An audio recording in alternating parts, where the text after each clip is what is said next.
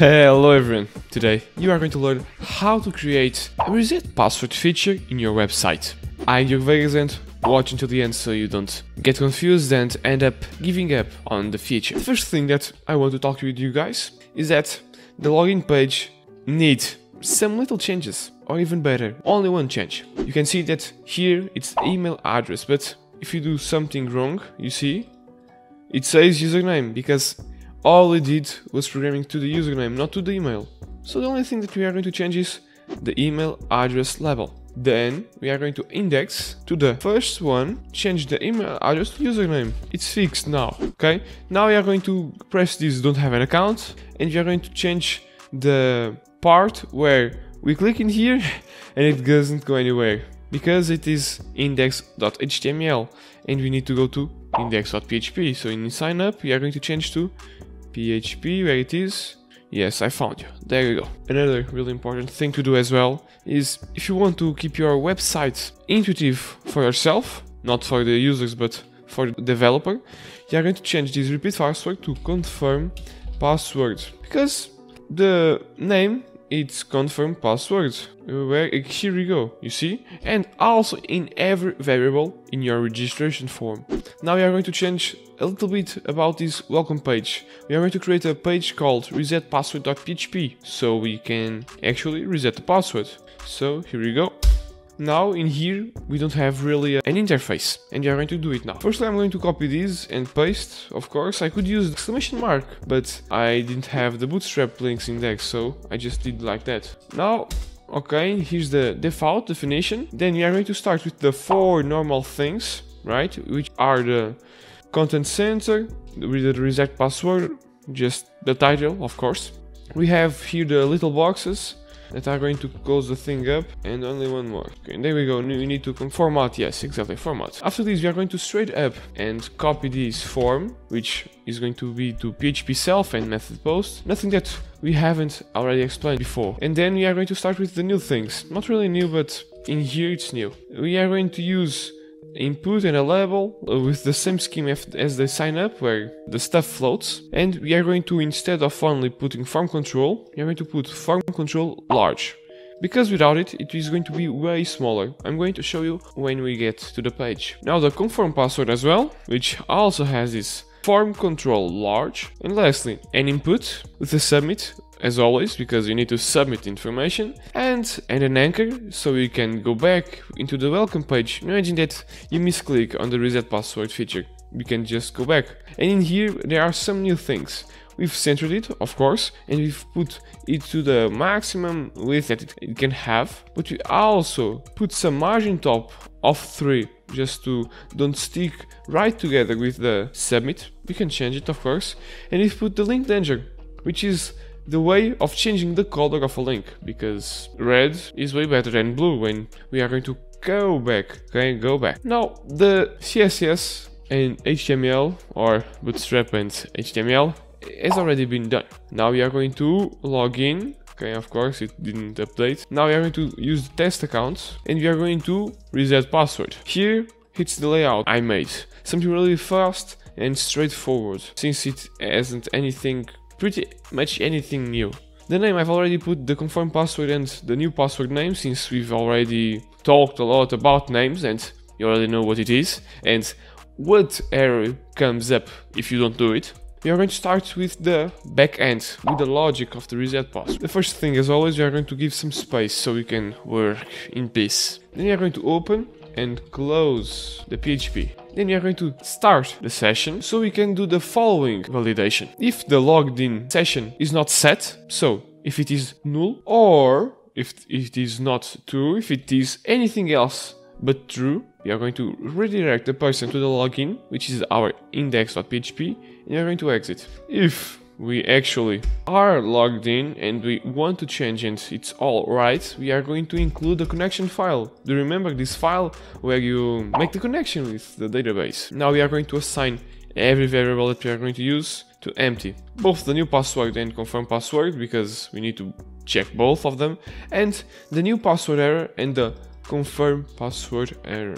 If the form is submitted with a post method that it is supposed to be because you see we are going to use it. Okay, it's down here, yes, exactly. Post, method. We are going to validate the password inside of it. If it is empty, without spaces, the trimming function, if you still remember it, we are going to ask for a new password. If the new password hasn't at least 6 characters, of course you can change it, select the 6, Control D and you remove it to, 20, to 10 or 20 or 13 or 5 or 4 but for me, in my opinion, it looks good in 6. And if everything is okay, we are going to reassign the new password with the trimmed version of the post variable new password.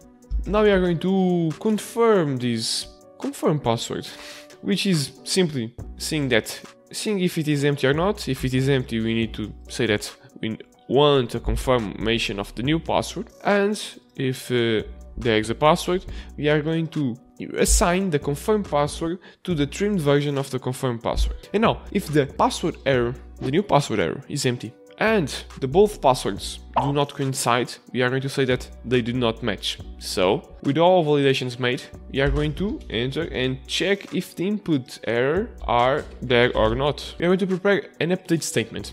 We've never done an update before, that's why I really wanted to do the reset password so you can understand how the update works. The first part it's update users, the table, set password. It's the attribute of the table that you want to change. Here we only have one and we only have this question mark, so one can to be changed with the parent later. And then the where. We cannot update something and think that the program knows what we want to update. We are going to give the ID. Then we are going to pair the statement with the link, of course, from the connection, and the SQL, which is the SQL query. It doesn't have to be this name, we could name it like query. Query is also a really good name. Since we are going to use SQL in everywhere, we are going to stick with it, please. Now, we are going to check if actually worked, if it worked. If there were not a single error, we are going to start binding parameters.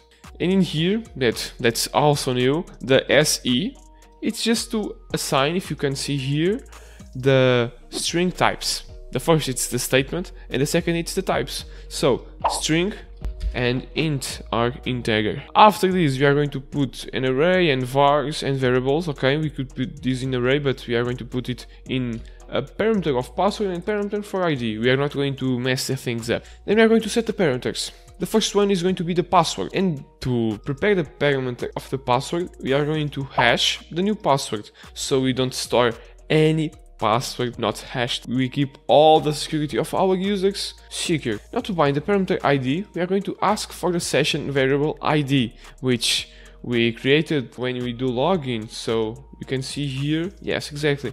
We store the data in session variable the id equals to the id so we can access this session if we open a session up here. Which we started then we are going to attempt to execute a prepared parameter. We are going to prepare it, do the statement. If it goes all right, it is going to be updated and we are going to destroy the session. After this, we are going to be again redirected to the login. So you know, so you see, it's the index, it's the login, just go to login, of course. And if it is not, we simply say that something went wrong with the statement, which uses to be the backend problem, okay? It's when the statement doesn't work, it's because we made some mistake. After this, we are going to close the statement and close the connection. There you go. Now if we refresh it very hard, you see exactly, we are going to try to use this functionality. Reset your password. And the password is test123, the current one. So we are going to try to update to 123456 copy, paste, the same thing, submit it. And we go to the login. Why? Because it probably got changed. So you're going to see this password here. You see that it has like this, let's refresh and see if it is still the same. No, it is literally not the same. It changed a lot from here. But we are going to start doing the validations anyways, because they are meant to be done. Now we are going to change some stuff in your HTML. The first thing that I told you guys is going to be this class. We need to add some class to say when it is not good or not. Yes, you've already saw a lot of that in my previous videos, but yeah, you still need to show the errors and show if it is invalid or not and blah blah blah. Straight up the same thing for the confirm password as well. And now some spans below the label here as well. And there we go. The confirmations are already done. Now, so if I put A, A, at least 6 characters, right? Now he put test 123 and I put NA, the password did not match. So with this, you'll learn how to create the both interface, the front end, and also the back end, the logic of the program, where you did the update here. You didn't even need to do the um, select since you already had the ID of the user in your session start. Now, lastly, before I forget, again, I'm going to show you guys the difference between having this large or not. Like this is like this, okay? But if I remove this large from both of them, I'm going to refresh it and it will be even smaller, which I recommend you to do not do it because it's since it's responsive it is always going to go smaller and larger. So in this video learn how to update, in this case the password of your account, reset the password, but when you are logged in, if you want a video about how to recover your password, imagine that you forget it and you want to receive an email with the code so you can change the password. If you want a video like that, please leave in the comments, leave a like, subscribe and I hope you guys enjoyed and see you soon.